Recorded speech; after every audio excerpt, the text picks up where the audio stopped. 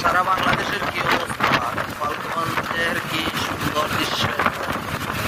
পদ্মা সেতু রাস্তা শেখ হাসিনা কীভাবে করেছে পানির দিয়ে লুটপাট করে টাকা